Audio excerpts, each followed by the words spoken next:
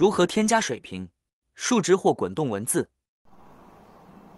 选择文字一栏，点击加号添加文字。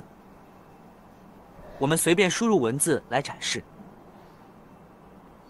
输入好文字之后，下方可以选择文字排列。我们先选择水平文字静态展示，可以设置文字颜色，还可以调节字体的间距、描边或文字大小。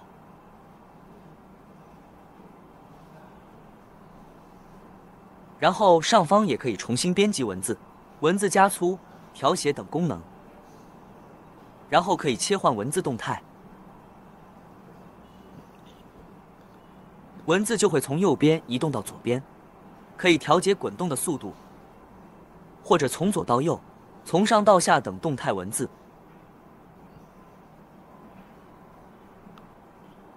我们再试试垂直文字，还是先输入文字，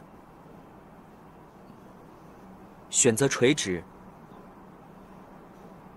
然后功能和我们的水平文字都是一样的。